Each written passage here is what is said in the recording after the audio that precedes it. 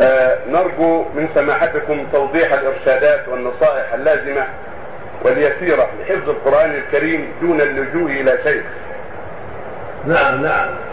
من اسباب حفظ القرآن الكريم ولو يسر بحمد الله طاعة الله عز وجل.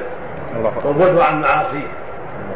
يقول الشافعي رحمه الله الإمام الشافعي أبو عبد الله شكوت إلى وكيع سوء حفظي فارشدني إلى ترك المعاصي وقال أعلم بأن العلم نور ونور الله لا يؤتاه عاصي وقال مالك رحمه للشافعي لما حضر عنده يدرس العلم ويتلقى الأحاديث. قال مالك للشافعي رحمه الله إني أرى عليك نور العلم.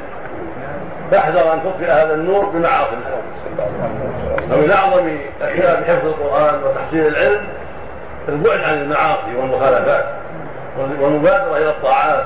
وأهم ذلك المحافظة على الصلوات في الجماعات مع بر الوالدين مع صلة الرحم ومع الإكثار من ذكر الله ومع أداء كل ما يجب عليك من أمر معروف ونهي عن منكر ودعوة إلى الله وكف عن محارم الله ومن الأسباب الجد في الحفظ والمدارسة والمذاكرة. تجعل لك وقت في الليل أو في النهار على حسب ما يتيسر لك. يكون وقت مناسب بعيد عن الناس. تدرس فيه القرآن. على قليل قليل على صفحة صفحتين تدرسها وتكررها وقت مناسب وقت مناسب.